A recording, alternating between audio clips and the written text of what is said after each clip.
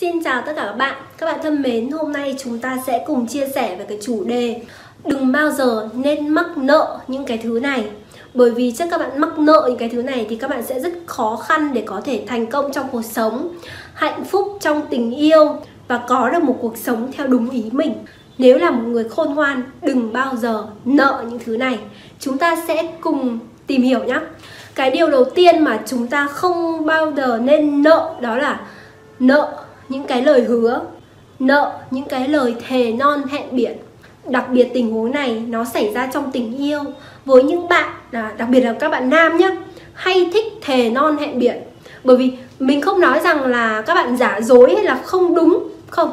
Vấn đề là khi mà cảm xúc của bạn thăng hoa, các bạn hay nói những câu rất mỹ miều, rất hay, nhưng mà sau đó cùng với thời gian cảm xúc là đi xuống, mình không làm được như thế. Thành ra mình sẽ bị các cô gái trách móc, trách cứ thậm chí mắng mỏ mình là một người nói được mà không làm được. Ví dụ nhá, các bạn con trai khi yêu thì hay nói cái câu là, anh sẽ làm em là người phụ nữ hạnh phúc nhất trên đời này. Đúng không? Đấy giống như một cái câu thề non hẹn biển ấy. lời hứa với cô ấy, anh sẽ làm em hạnh phúc nhất trên đời. Mình biết là câu nói này, nó xuất phát từ cái việc là bạn thực sự yêu cô ấy, cảm xúc dâng trào và mình thực sự có cái mong muốn đấy. Nhưng mà thay vì nói câu nói đấy, các bạn đừng nói là anh sẽ làm mà nó thành một cái câu hứa. Hãy nói rằng anh mong rằng, anh mong anh có thể làm em trở thành một cô gái hạnh phúc nhất. Đấy. Cái việc bạn mong em, bạn sẽ trở thành nó khác so với việc anh sẽ làm. Sẽ làm là một cái câu nói chắc nịch mà sau này khi các bạn không được như thế nữa, các bạn sẽ bị các cô gái trách móc rất là nhiều. Cho nên khôn ngoan hơn thì mình sẽ tránh nó ra, mình sẽ dùng những cái từ ngữ nó khác đi một chút để đừng, để sau này mình sẽ trở thành một người đàn ông mà bị trách móc hoặc là sau này các bạn không đến được với nhau, cô gái sẽ đi nói khắp nơi rằng, ôi, mình là một người đàn ông chẳng ra gì. Thể non hẹn biển, có làm được đâu bây giờ đấy này, thế này, thế kia. Trong khi đó cũng có thể là do trong thời gian đấy bạn nhận ra rằng cô ấy không phù hợp điểm này, điểm kia và bạn muốn kết thúc thì sao? Đúng không? Cho nên là khi cảm xúc dâng trào và tình yêu nó nhiều cảm xúc, mình cũng biết là mình có thể nói những câu đấy nhưng mình phải phải chừa cho mình cái đường lui, chứ đừng để là mình hứa mà mình không làm. Hoặc trong cái việc là cha mẹ hứa với con cái nhưng lại không thực hiện. À mẹ hứa là sẽ đưa con đi đây vào ngày này ngày này. Nhưng sau đó chúng ta không cần giải thích lại với con là, ôi, có thể đàm phán lại là chúng ta sẽ sửa sang một ngày khác được hay không? Không, mình cứ mặc kệ. Con của mình mà mình muốn đưa đi đâu đi. Chúng ta không nên làm như vậy. Thất hứa với bất kỳ ai, trẻ con, người lớn, người già đều là những cái việc không nên. Cho nên đừng bao giờ thất hứa. Việc thất hứa nó sẽ khiến cho các bạn mất hình tượng. Việc thất hứa sẽ khiến cho người khác đánh giá các bạn nói xấu các bạn, thậm chí mắng các bạn, hoặc đôi khi trong mối quan hệ bạn bè. Đó là một người bạn rất là tốt của bạn, đúng không? Đang trên bàn nhậu, tụi mình nói chuyện hay quá, lại uống được vào quá. Thế là bạn mình mới nói, ôi, tớ đang gặp khó khăn này, giúp đỡ tớ khoảng trăm triệu được không? Đấy, mình vui quá, mình sướng quá, mình thấy rằng, bởi vì lúc đấy mình đang vui quá mà. Xong rồi đang hưng phấn mà tình cảm cũng ờ, đôi bên cũng tốt ấy. Thế là bắt đầu mình mới nói là ừ không sao, không vấn đề gì đâu xong đến lúc về nhà à, mình thấy là cái số tiền đấy cũng là cái số tiền mà mình có thể giúp đỡ được. Nhưng mà vợ mình lại nói là vợ mình không đồng ý đúng không? Thì lúc đấy là nói lại rất là khó. Mất uy tín tình bạn dạn nứt. Cho nên các bạn phải thực sự thận trọng với những lời hứa với những lời thề non hẹn biển của các bạn. Đây là những kinh nghiệm xương máu mà các bạn cần phải biết các bạn nhé cái điều số 2 mà các bạn không bao giờ nên nợ trong cuộc sống này, đó chính là nợ tiền hoặc là đi lừa tiền. Nó là một trong những cái nghiệp, các bạn ạ, nhiều người có cái thói quen ý, cứ cái vay được càng nhiều càng tốt. Mình chỉ biết là cứ như kiểu là mình vay được thì tức là nó là của mình ấy xong rồi cứ thích đi vay thật là nhiều, vay được thì vui. Xong đến lúc trả thì không muốn trả. Lúc vay thì tươi cười hớn hở. Lúc trả thì mặt xị ra. Xong rồi gây chuyện gây gổ. Ra đều ta đây không muốn trả rất nhiều có những cái mối quan hệ như vậy, cho nên các bạn phải cẩn thận. Thứ nhất là mình cẩn thận trong những khoản mình cho vay. Và khi mình vay một ai đó, mình phải cố gắng để hoàn thành trong cái thời hạn mà mình đã hứa với họ. Và tuyệt đối đừng bao giờ muốn xù tiền của người khác. Các bạn ạ, có rất nhiều người cứ nghĩ rằng, ôi, người ta hiền, người ta giàu có quá, một ờ, không có một chút tiền này thì cũng chẳng sao đâu. Hoặc là cơ hội cho phép thì thôi mình cứ xù. Hoặc là thậm chí còn đi lừa tiền của người khác các bạn thân mến, đây là một cái nghiệp. Các bạn ạ, dù có chạy đi đâu thì cũng không thoát được đâu. Có thể là các bạn có thể kiếm được của người ta một đồng, rồi mình mất 10 đồng vào những chuyện khác mình không biết. Bạn chưa nhìn thấy không có nghĩa là nó sẽ không xảy ra với bạn, cho nên tránh xa cái nghiệp này. Đừng bao giờ nợ tiền, lừa tiền, hay không muốn trả tiền người khác. Các bạn nhé cái điều số 3 mà các bạn không nên nợ, đó chính là nợ ân tình. Nợ ân tình không chỉ là của người yêu đâu nhá mà còn của những cái mối quan hệ xã hội người bạn bè của các bạn nữa. Ví dụ là bạn chuẩn bị ra nước ngoài mà các bạn lại có một người bạn ở bên nước ngoài đấy. Bạn ấy có nói rằng ồ, sang bên đó thì cứ qua nhà tớ ở đi. Qua đây rồi mình sẽ xin nghỉ phép, mình đưa các bạn đi chơi cả tuần, cả tháng. Ví dụ thế. Có thể một người bạn của các bạn nhiệt tình với các bạn hoặc là cứ nói khách sáo, nó cho hay nói như vậy thôi thì không có nghĩa là mình sẽ nhận cái ân tình đấy. Bởi vì rất nhiều người vô tư ấy cứ nhận cái ân tình đấy ấy. xong rồi trong cái tình huống như thế thì mình muốn các bạn hãy cân nhắc như này. Có thể là các bạn qua đó bạn của bạn sẽ xin nghỉ ảnh hưởng đến công việc của bạn đấy là cái thứ nhất này. Cái thứ hai là người ta đã nhiệt tình với mình như thế thì mình cũng phải có một cái sự đáp lại làm sao cho nó xứng đáng. Chứ không phải là uh, mình cứ đến đấy xong rồi làm phiền người ta mà mình cứ để người ta chi phí cho tất cả mọi thứ của mình đâu, các bạn ạ. Đôi khi người ta có thể nhiệt tình người ta làm điều đấy, nhưng mà có thể là trong lòng người ta cũng không thoải mái đâu. Và khi mình nhận cái ân tình đấy xong rồi thì trong lòng mình ấy luôn nợ người ta. Mà đến lúc ví dụ sau này các người ta đến đất nước của bạn người ta chơi, xong lúc đấy ví dụ bạn bận công việc này kia con cái, bạn không thể chăm sóc được, bạn không thể nào mà đối xử và thét đãi người ta nhiệt tình đến như thế. Bạn không thể nào mà dành cả một tuần hoặc một tháng ra để đi chơi với người bạn đấy, thì có phải là các bạn nợ người ta một ân tình không? Xong sau đó, nếu mà mình không đáp trả lại được ấy, thì người ta sẽ đánh giá mình. Xong thậm chí người ta đi nói xấu mình với người này, người kia rằng, ôi, ở trước đây bạn ấy sang cái chỗ mà mình ở ấy, thì mình đã đối xử nhiệt tình với bạn ấy như thế nào, trong khi lúc mình đến thì bạn ấy đối xử với mình như thế? Thế cho nên mình nghĩ rằng, nếu cái ân tình nào ấy mà không bắt buộc phải nhận, thì mình cố gắng là mình tránh nó đi. Vì nợ cái gì nợ tiền nó còn dễ trả, chứ nợ ân tình trả khó lắm các bạn ạ xong đến lúc mà hơi hơi có một cái chút gì đó mà không hài lòng với nhau là tình cảm dạn nứt rồi này kia cho nên nếu tránh được mình hãy tránh nợ ân tình. Các bạn nhá Đương nhiên, ví dụ các bạn đi đến một nơi xa xôi mà có bạn của các bạn đấy, các bạn cũng muốn gặp người quen của mình, không sao nhưng mà hãy để cho cái cuộc gặp đấy nó ở trong mức mà bạn bè bình thường mình gặp nhau. Chứ đừng bao giờ để mình mình nợ người ta nhiều ấy. Thành ra là lúc nào mình cũng phải nghĩ là mình cũng phải báo đáp cho những cái điều đấy. Còn nếu mình vô tư quá mà mình nghĩ mình không cần báo đáp thì cuối cùng là mình lại trở thành một người không biết điều. Và nó sẽ ảnh hưởng đến cái danh dự và cái uy tín của mình nếu như cái người kia người ta có đi nói này nói kia. Đúng không các bạn? Cho nên trong cái việc là nợ ân tình ấy, mình đừng có vô tư quá. Các bạn không phải người ta cứ nhiệt tình, người ta giúp mình là mình cứ nhận thôi đâu các bạn, ví dụ ngay cả việc vay tiền cũng thế. Một người rất nhiệt tình cho các bạn vay tiền, xong đến lúc người ta mà túng thiếu, người ta cần mà các bạn à, không cho người ta vay thì sao? Ờ có thể là các bạn có có thể là các bạn không có. Có thì cho vay không sao.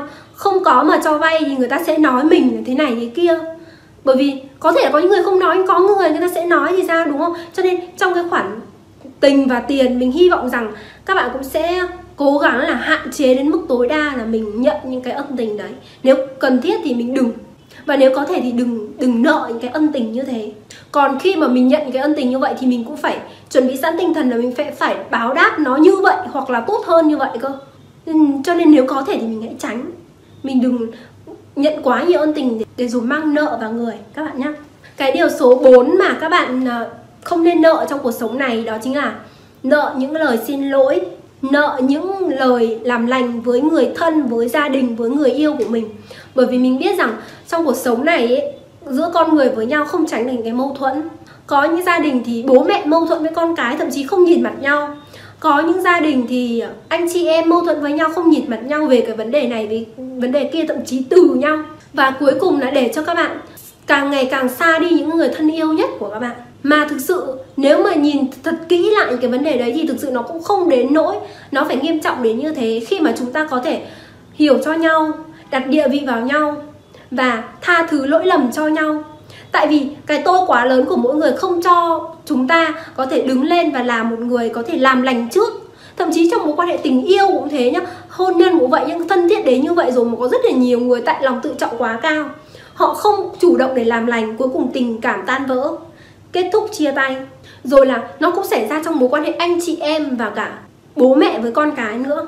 Cho nên mình hy vọng rằng trong cuộc sống ấy, nếu như đặc biệt với những người thân yêu nhất của các bạn, thì đừng bao giờ để có những cái nỗi gợn hoặc để những cái mâu thuẫn đấy nó làm cho các bạn phải giận nhau đến mãi mãi không nhìn mặt nhau. Đương nhiên cũng có thể là có những cái quan điểm không đúng với nhau hoặc là mâu thuẫn với nhau, nhưng mà sau tất cả các bạn phải biết rằng người đấy vẫn là người thân yêu nhất của mình là vợ là chồng mình hoặc là uh, anh chị em của mình là bố mẹ của mình. Sau tất cả mình học cách để hiểu hơn trong người đó và bắt đầu cái sự làm lành trước các bạn ạ. Để có hạnh phúc hơn có tiếng cười nhiều hơn trong những gia đình các bạn nhé cái điều số 5 mà các bạn không nên nợ trong cuộc sống này đó chính là nợ bố mẹ của mình một đứa con hiếu thảo và tình cảm. Nợ vợ hoặc chồng hoặc con của mình một người vợ, người chồng, người cha sống hết mình và chăm sóc, dành đủ thời gian cho gia đình của mình. Các bạn ạ, bởi vì nhiều khi trong cuộc sống này, các bạn cùng với cơm áo gạo tiền, các bạn cứ tập trung vào cái việc kiếm tiền kiếm tiền kiếm tiền. Thực sự là khi các bạn có ít tiền, các bạn sẽ kiếm, muốn kiếm thật nhiều tiền. Kiếm được nhiều tiền rồi, các bạn lại muốn kiếm được nhiều nữa. Thành ra các bạn cứ bị cuốn đi. Mình đã gặp rất là nhiều người như vậy rồi. Là những ông chủ nhưng bà chủ rất là thành công trong công việc, nhưng họ lại không có thời gian dành cho bố mẹ của mình, gia đình của mình, con cái của mình. Thậm chí là lúc mình thức dậy thì con mình còn đang ngủ, lúc mình trở về thì con mình cũng đã ngủ rồi. Mình thậm chí không có thời gian để nói những lời yêu thương với vợ, với chồng của mình nữa. Thành ra tình cảm nó càng ngày càng xa hơn. Còn bố mẹ thì đợi đến khi bố mẹ không còn nữa rồi. Lúc đấy có muốn dành thời gian thì bố mẹ cũng không còn để mà mình thăm nữa cho nên mình hy vọng rằng đương nhiên mình vẫn khuyến khích các bạn là sẽ phấn đấu cho sự nghiệp cho kinh tế để mình giàu hơn sung túc hơn nhưng cũng đừng bao giờ quên rằng song song với việc đó chúng ta cũng cần dành cái thời gian nhất định cho bố mẹ vợ con gia đình của mình để họ có thể cảm nhận được cái sự quan trọng của các bạn và họ cảm nhận được rằng bạn coi trọng cái gia đình đó các bạn nhé các bạn thân mến, chương trình của chúng ta hôm nay sẽ tạm thời kết thúc tại đây. Mình hy vọng rằng những cái thông tin này sẽ hữu ích. Còn bây giờ xin chào và hẹn gặp lại các bạn. Nếu các bạn thấy thích những chia sẻ của mình hãy nhấn vào like, subscribe và share nhé. Xin chào tất cả các bạn. Các bạn thân mến, hôm nay chúng ta sẽ cùng chia sẻ về một cái chủ đề đó chính là những lý do khiến bạn không thể hạnh phúc và không thể có thành công trong cuộc sống các bạn thân mến các bạn là một người mong muốn hạnh phúc mong muốn thành công trong cuộc sống này đúng không nhưng mà có bao giờ các bạn tự hỏi là tại sao tại sao mình lại không có được hạnh phúc giống như mình đã từng mong ước?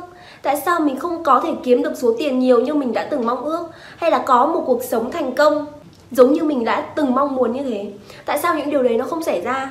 Tại sao việc càng mơ ước, càng mong ước nó chỉ làm cho mình thất vọng bởi vì nó sẽ không xảy ra theo đúng ý mình?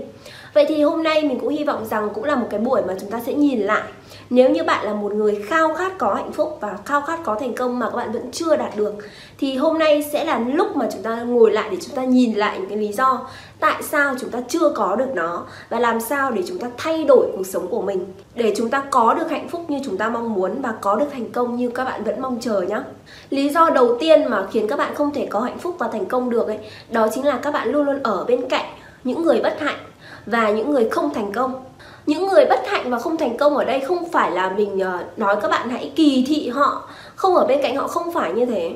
Các bạn có thể hỗ trợ họ, các bạn có thể giúp đỡ họ, các bạn có thể làm bạn với họ, các bạn vẫn tôn trọng họ. Nhưng cái điều quan trọng, nếu các bạn muốn có hạnh phúc hơn, thì các bạn phải tiếp xúc với những người người ta hạnh phúc hơn các bạn chứ. Đúng không? Muốn có thành công thì phải tiếp xúc với những người thành công hơn các bạn chứ.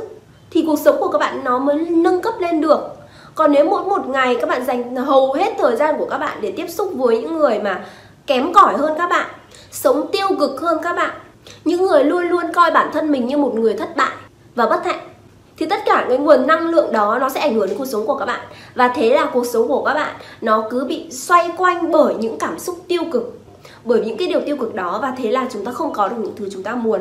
Các bạn thân mến, những cái người mà mình nói với các bạn về việc thất bại và bất hạnh ở đây là những người có tư duy thất bại và tư duy bất hạnh, chứ không phải là thực sự nhá. Ví dụ có những người mà trong cuộc sống người ta gặp thất bại, người ta vẫn có ý chí để vươn lên thì cái đấy người ta không gọi là thất bại.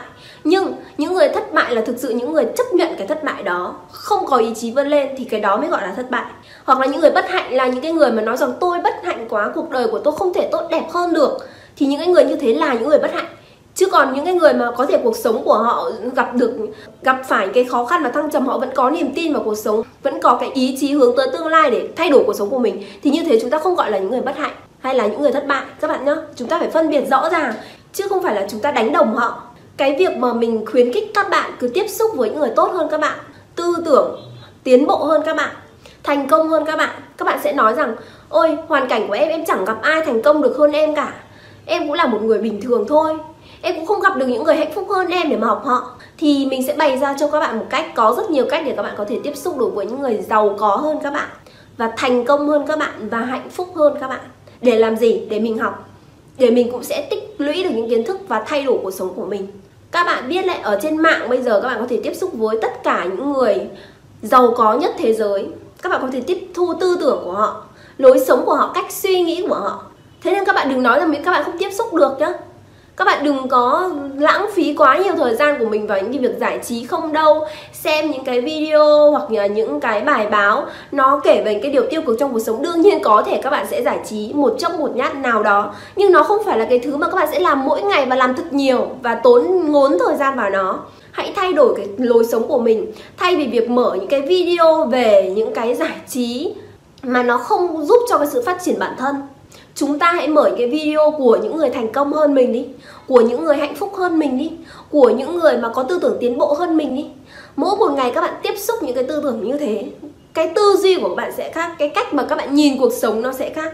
Các bạn sẽ nhìn thấy rất là nhiều những cái tấm gương, những cái tình huống, những cái bài học mà người khác đã từng trải qua đôi khi các bạn sẽ cảm thấy đồng cảm bởi vì ổi đây cũng chính là cái thứ mà mình đang trải qua đó. Các bạn có niềm tin hơn các bạn có động lực hơn trong cuộc sống. Các bạn ạ à, nếu các bạn xem một cái video hoặc đọc một cuốn sách xong ấy mà các bạn thấy rằng mình có niềm tin hơn mình có động lực hơn để thay đổi cuộc sống của mình thì đó chính là sự thành công của các bạn. Các bạn đã tiếp xúc được những với những người mà tốt hơn các bạn đấy. Và đã có hiệu quả rồi đấy và nếu các bạn cứ tiếp tục duy trì nó, thành công và hạnh phúc nó chỉ là một cái điều không xa đối với bạn thôi. Cái điều thứ hai mà mình muốn chia sẻ với các bạn về cái lý do mà chúng ta không có hạnh phúc và thành công, đó chính là chúng ta không đặt kế hoạch và mục tiêu cho cuộc sống. Các bạn ạ, rất nhiều người trong cuộc sống của chúng ta không có thành công và không có những cái thứ mình muốn bởi vì họ không lên kế hoạch cho nó. Họ cứ để mọi thứ nó xảy ra một cách tự nhiên thôi. Các bạn thân mến, có một câu nói rất hay là thượng đế sẽ cho các bạn tất cả những gì các bạn muốn nhưng điều quan trọng trước tiên là các bạn phải biết mình muốn gì đã. Các bạn muốn có một chàng trai và sống thật hạnh phúc với anh ấy, hoặc muốn có một cô gái lý tưởng để sống hạnh phúc với cô ấy. Nhưng các bạn chưa bao giờ ngồi xuống và nghĩ xem là một cô gái như thế nào sẽ làm mình hạnh phúc. Một chàng trai như thế nào sẽ làm mình hạnh phúc? Đúng không? Một chàng trai mà yêu mình, chiều mình, chăm sóc cho mình, yêu mình với sự chân thành, yêu mình với sự trung thủy. Như vậy có phải là một người mà bạn yêu không? Đấy, mình biết ai cũng muốn có một chàng trai và một cô gái tốt đẹp như thế nhưng có phải lúc nào các bạn cũng ngồi xuống để biết rằng mình thực sự muốn gì không? Nếu các bạn không biết mình thực sự muốn gì, đó chính là lý do mà các bạn cứ rơi vào những mối quan hệ tồi tệ. Ở đó có thể người ta ờ, có điểm này điểm kia thu hút bạn nhưng người ta lại không có cái đặc điểm là chân thành hoặc trung thủy, các bạn vẫn cứ bị rơi vào đấy. Bởi vì các bạn không thực sự biết là mình muốn gì. Bởi vì các bạn đã không đặt kế hoạch và mục tiêu cho mình, đúng không? Và chả cả trong sự nghiệp cũng vậy nữa. Các bạn cứ à đến tuổi mình đi đến trường đại học mình học ra trường mình nghe theo mọi người mình đi uh, tìm việc làm đúng không? Đã bao giờ các bạn đặt kế hoạch cho mình là mình muốn trở thành một người như thế nào? Mình muốn kiếm được bao nhiêu tiền chưa? Đúng không? Hầu hết những người không có được thành thành công trong cuộc sống này đó là vì họ không có kế hoạch. Cái gì cũng thế phải đặt mục tiêu và kế hoạch các bạn nhé và nếu các bạn đã có kế hoạch và mục tiêu rồi thì chúng ta sẽ cùng đến với cái bước số 3 cái điều số 3 mà hôm nay mình muốn chia sẻ với các bạn. Về cái lý do mà chúng ta không có thành công, đó chính là chúng ta không theo đuổi mục tiêu và kế hoạch của chúng ta. Cái việc mà có kế hoạch rồi, đó là một bước, nhưng mà còn phải theo đuổi nó nữa cơ. Nếu các bạn từ bỏ trên cái con đường đấy, các bạn thấy khó quá, mình không thực hiện được đâu, thì đó chính là lý do mà thất bại và không có hạnh phúc và không có thành công, đúng không các bạn? Cho nên mình khuyến khích các bạn là dù cái thứ các bạn mong muốn hoặc là người người yêu mà các bạn, lý tưởng mà các bạn mong muốn, người ta chưa xuất hiện, nhưng không có nghĩa là người ta không xuất hiện. Thành công đến với bạn nó chưa xảy ra, nhưng không có nghĩa là nó không xảy ra. Cuộc sống này công bằng lắm các bạn. Thượng đế cần cái sự thử thách đối với bạn, mà bạn vượt qua đầy đủ các thử thách, các bạn sẽ có được những thứ mình muốn. Chỉ cần các bạn không từ bỏ thôi, đúng không? Có một câu nói rất hay, đó chính là người từ bỏ thì không thành công, mà người thành công thì sẽ không từ bỏ cho nên hãy nhớ câu nói này nhá. Việc đặt ra mục tiêu kế hoạch cho chính mình là một chuyện. Cái việc các bạn phải theo đuổi nó và không bao giờ từ bỏ nó lại là một cái vấn đề quan trọng nữa. Để các bạn sẽ có được những thứ mình muốn. Cái điều thứ tư mà khiến cho các bạn thất bại trong cái việc uh, kiếm tiền và thành công đó chính là các bạn tiêu hết những cái số tiền mà mình có. Mình biết rất nhiều bạn trẻ có cái thói quen này. Các bạn không có tiền tiết kiệm mình đã chia sẻ với rất nhiều bạn và có đưa ra những cái lời tư vấn cho các bạn ấy đó chính là dù các bạn kiếm được ít hay nhiều tiền ở thời điểm hiện tại thì các bạn cũng phải cân đối cái chi tiêu đấy. Đừng bao giờ chi tiêu quá cái số tiền mà mình kiếm được. Và mỗi một tháng thì các bạn ít nhất cũng phải tiết kiệm được một cái khoản mà theo mong muốn của các bạn để phòng cho những cái trường hợp mà nó sẽ bất chắc xảy ra.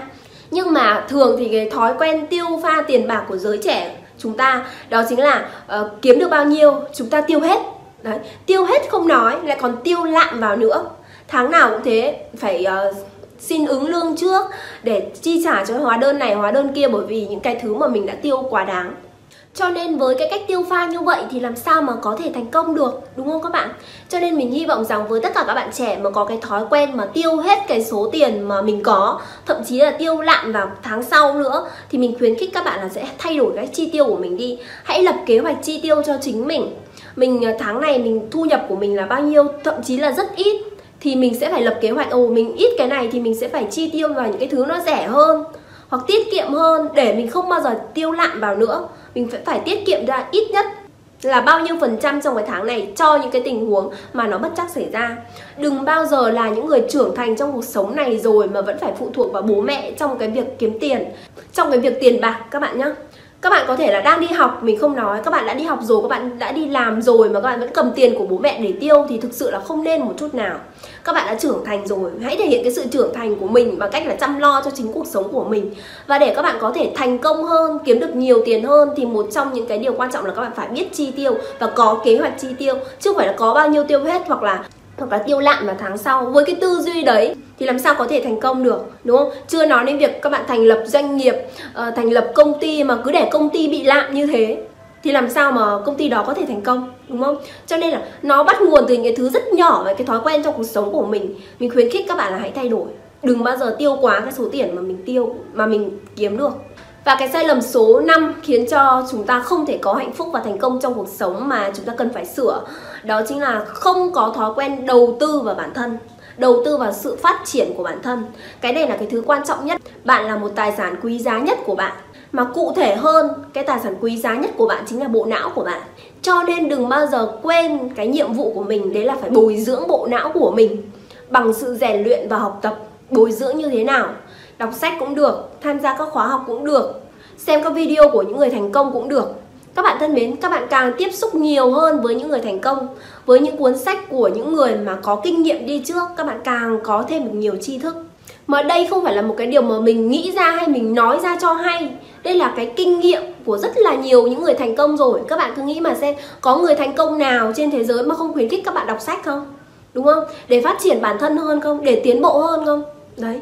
Cho nên muốn là người thành công, muốn là người hạnh phúc à, và có được nhiều hơn những cái điều tốt đẹp trong cuộc sống, hãy là người đầu tư cho bộ não của chính mình bằng cái việc đào tạo, rèn luyện mỗi ngày. Dù ít, dù nhiều nhưng các bạn hãy dành thời gian để đào tạo cho bộ não của các bạn này, để nó tiếp xúc với một cái kiến thức mới hơn.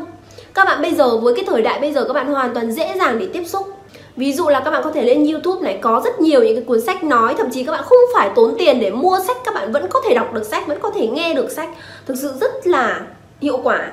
Tuy nhiên mình sẽ khuyến khích các bạn mua sách giấy Bởi vì sách giấy nó sẽ khiến cho các bạn có thể chủ động hơn Trong việc là mình sẽ đọc những cái gì Hôm nay mình đọc bao nhiêu.